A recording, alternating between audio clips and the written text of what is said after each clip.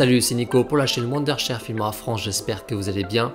Bienvenue pour ce nouveau tutoriel. Aujourd'hui, on va apprendre à réaliser quelque chose de très important pour certaines de nos vidéos, rendre complètement anonyme une personne présente à l'image. Comme maintenant, faire en sorte de ne plus pouvoir la reconnaître en floutant le visage, mais également en transformant la voix.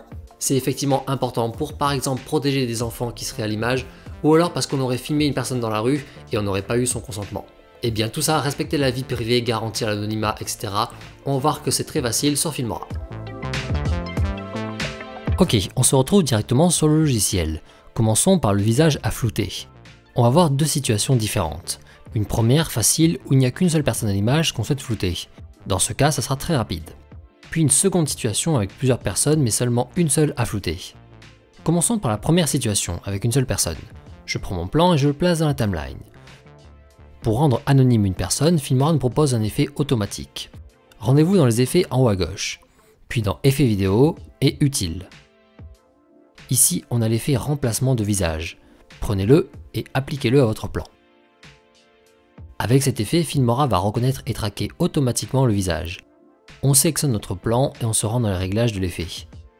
Ici, on a plusieurs visuels à appliquer sur le visage. Si jamais vous voulez ajouter une petite animation rigolote, vous avez du choix. Mais c'est surtout la première option qui va nous intéresser ici, la mosaïque. Cliquez dessus et hop, le visage est maintenant flouté. Et donc l'effet suit automatiquement le visage en mouvement, très pratique. Voici comment flouter rapidement un visage seul à l'image. Maintenant, comment faire s'il y a plusieurs personnes mais seulement une seule à flouter? Eh bien dans ce cas-là, on va faire différemment mais toujours simplement. Ici, on va chercher à flouter l'enfant pour ne pas le reconnaître. Vu qu'il y a également la mère à l'image, ça va nous demander de cibler la bonne personne. On va pour ça créer un suivi de mouvement sur la tête de l'enfant. Dans les réglages du plan, on va dans Outils d'IA et on active le suivi de mouvement. Avec ce repère blanc, on cible le visage. Et on peut ensuite lancer le suivi ici. Filmora traque donc le visage. Une fois le suivi fini, le logiciel nous propose une option très pratique. Dans éléments de lien, vous voyez qu'on a d'emblée la possibilité d'appliquer une mosaïque. Eh bien c'est parfait. Sélectionnez-la, hop, la mosaïque apparaît sur le visage pour flouter la zone et va donc suivre les mouvements. Il ne manque plus qu'à bien la régler. Vous voyez que de base, là, elle n'a pas la bonne forme, trop horizontale. En cliquant dessus directement sur l'image, on peut modifier sa taille et sa position. Et enfin, ici dans ces réglages, on peut décider de la force du flou, mais également du style du flou ici avec cette option. Cette allure-là, la quatrième, me paraît celle la plus délicate pour rendre anonyme un visage. Je prends donc celle-ci. Et ainsi, on a maintenant flouté seulement la bonne personne à l'image. Bien, ça c'était pour l'image. Retournons maintenant sur mon premier exemple pour nous occuper de la voix.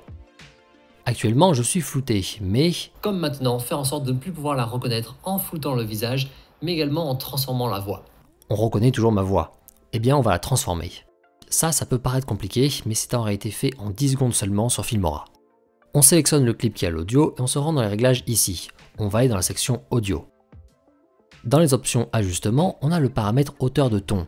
Eh bien c'est tout simplement avec lui qu'on va complètement transformer la voix. En baissant le réglage dans le négatif, hop Comme maintenant, fait en sorte de ne plus pouvoir la reconnaître en foutant le visage, mais également en transformant la voix. La voix devient très grave, méconnaissable. Et inversement, en le passant dans le positif, on obtient maintenant ce style de voix très connu également. Comme maintenant, fait en sorte de ne plus pouvoir la reconnaître en floutant le visage, mais également en transformant la voix. Une voix toujours inidentifiable. Et voilà, en seulement 2 ou 3 clics, en plus du visage, on a rendu méconnaissable la voix de la personne. Voilà comment on peut facilement rendre quelqu'un complètement anonyme.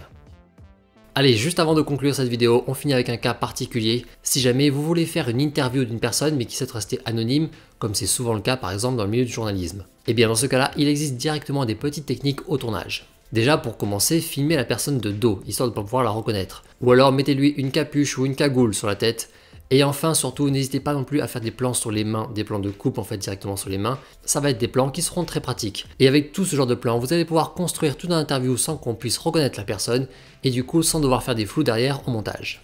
Allez, c'est tout bon pour ce nouveau tutoriel sur Filmora, j'espère qu'il vous a plu. Si vous voulez retrouver toutes nos autres vidéos, n'hésitez pas à aller faire un petit tour sur la chaîne. Quant à moi, je vous souhaite à tous de bons montages et on se dit à la prochaine. Ciao